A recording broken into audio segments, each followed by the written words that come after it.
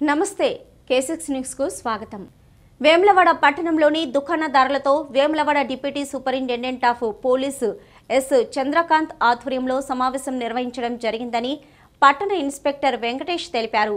ఈ సందర్భంగా డీఎస్పీ మాట్లాడుతూ దుకాణదారులు రోడ్లను ఆక్రమించి దుకాణాలు పెట్టకూడదని దేవస్థానంకి వచ్చే భక్తులకు ఇబ్బంది కలగకుండా చూసే బాధ్యత ప్రతి ఒక్కరిదని నిబంధనలు ఉల్లంఘిస్తే కేసులు తప్పవని మున్సిపల్ వారి సహకారంతో కలిసి చర్యలు తీసుకుంటామని భక్తులు తమకు నచ్చిన దుకాణంలో తమకు రేటు నచ్చితేనే కొనుక్కుంటారని వారిని ఇబ్బందులకు గురి చేయకూడదని అన్నారు. అందరూ సహకారం ఉంటే మన వేములవాడకి మంచి పేరు తీసుకురావడంలో మీదే ప్రముఖ పాత్ర అని తెలిపారు. ఈ కార్యక్రమంలో inspector Venkatesh municipal commissioner Shyam Sundar sub inspector Ramesh traffic sub inspector Dilip Kumar పట్టణ దుకాణదారులు పాల్గొన్నారు. హ్యాపీగా వచ్చి హ్యాపీగా వెళ్ళాలనే ఉద్దేశంతో చేసుకుంటాం. బట్ మన దగ్గరికి వచ్చిన తర్వాత ఏమవుతుంది? కొన్ని షాపుల వాళ్ళు ఒకరు ఇద్దరు మిగతా వాళ్ళంతా బాగానే ఉన్నారు. ఒకరు ఇద్దరు అలాంటి వాళ్ళ వల్ల వేములవాడ మొత్తానికి మొత్తానికి చెడ్డ పేరు వస్తుంది. వేములవాడ షాపుల వల్ల దౌర్జన్యం.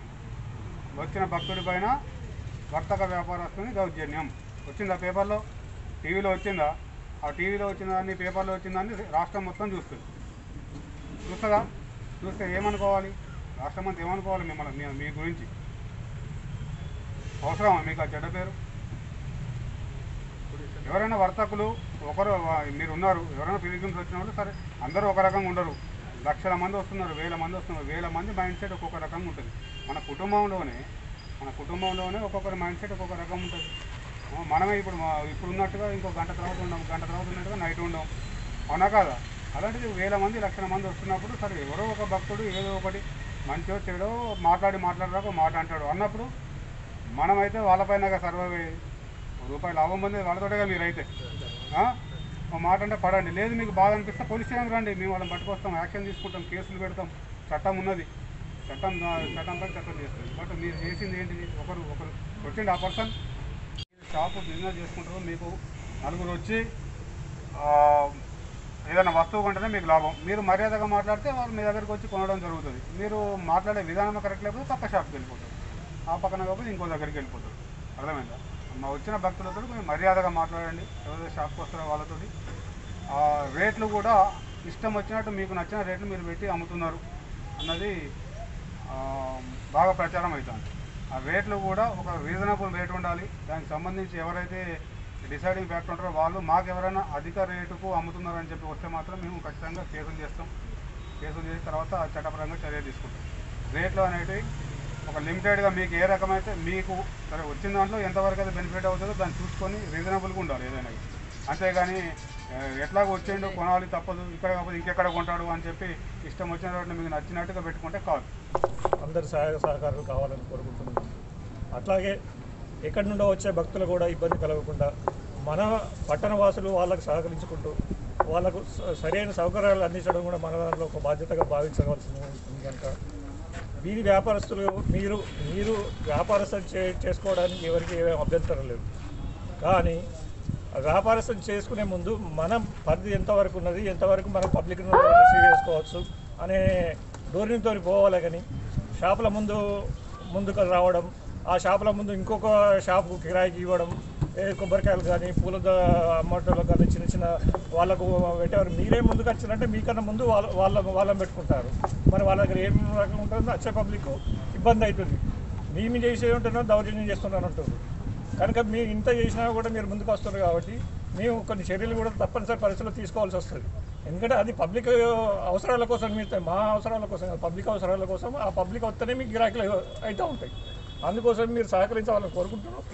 ఏదైతే ముందు మీరు మీకు మీ ఒక అద్దాన్ని మేము చూపిస్తాం. ఆ అద్దు వరకు మీరు పెట్టుకొని పెట్టుకోండి దాని ముందుకు వస్తే మాత్రం చాలా తీసేవాల్సిన పరిస్థితి వస్తుంది కనుక మీరు ఇబ్బంది పడద్దు మా మమ్మల్ని ఇబ్బంది పడవని కోరుకుంటున్నాను. అట్లాగే ఈ రాబోయే జాతర సందర్భంగా అందరూ పబ్లిక్ బయట నుండి వచ్చే పబ్లిక్ కూడా వాళ్ళు ఇక్కడ సౌకర్యాలు బాగున్నాయి ఇక్కడ రోడ్లు బాగున్నాయి అవి బాగున్నాయి అని చూసి చెప్పుకున్నట్టు ఉండాలి కానీ అంతేగాని మనమే ముందుకొచ్చి ఆటోలు వచ్చి రావడం ఇటు వెహికల్ వాళ్ళ వచ్చే వాహనాలు రావడం మనం షాపులు ముందుకు రావడం ఇట్లాంటి కొన్ని ఉన్నాయి కనుక కొంచెం మనం అడ్జస్ట్ అయ్యి కొంచెం వెనుక జరిగి పెట్టుకొని మన వ్యాపారం మనం చేసుకుంటుంటే అందరికి బాగుంటుందని కోరుకుంటున్నాం రాజుల దగ్గరికి వచ్చే భక్తులు మీకు అందరికి తెలుసు మన రాజేంద్ర దగ్గరికి ఎంత నమ్మకంతో భక్తులు వస్తారో మీకు తెలుసు మనం చెప్పాల్సిన పనిలే. సోమవారం మంగళవారం పోయి చూస్తే లేకపోతే బుధవారం చూస్తే తెలుస్తుంది. రాజన్న అంటే బుధవారం గురువారం చెప్తారు. మీరే చెప్తారు. లేకపోతే సమ్మక్క లేని రోజులు మీరు చెప్తారు. ఏమి సార్ ఇప్పుడు ఏం లేదు భక్తులే లేరు సార్ అంతా డల్ డల్ ఉన్నది మాకే బోర్ వస్తున్నది. పబ్లిక్ని చూస్తే మీకు ఒక ఆనందం. అంతే కదా? వాళ్ళు ఉంటేనే మనకు ఆనందం. మన అంతా మనంతా అంతా అంతగా వాళ్ళతో పబ్లిక్తో కానీ భక్తులతో కానీ మమైక్యం ఉంది. మన జీవితాలన్నీ ముడిపడి ఉన్నాయి ఏం లేని బుధవారం మీరు కూర్చుంటే గోలు కొట్టుకుంటారు లేకపోతే ఈగలు కొడుతుంటారు లేకపోతే ఏం లేదు. సమ్మక్క లేదు సమ్మక్క నాన్ సీజన్లో అయితే ఏముండదు లేకపోతే శని శుక్రవారం శని ఆది సోమవారం ఇచ్చి పెడితే మళ్ళీ ఇంకేముండదు మళ్ళీ మనం చూసుకోవాల్సింది ఎప్పుడు వస్తారు? మళ్ళీ ఎప్పుడు శనివారం వస్తుందా? ఎప్పుడు సోమవారం వస్తుందా అని చూడాల్సిన పరిస్థితి మనం. కాబట్టి ఇటువంటి పరిస్థితుల్లో ఇటువంటి ఈ ప్లేస్లో ఉన్న మనం అందరం అదృష్టంగా భావించాలి. మన జీవితాలన్నీ రాజన్న ఇచ్చిన అదృష్టంగా భావించాలి. కానీ కొన్ని కొన్ని చిన్న సంఘటనలు అంతా మేము బేసిక్గా చిన్న చిన్న మొన్న వచ్చిన చిన్న సంఘటన అది.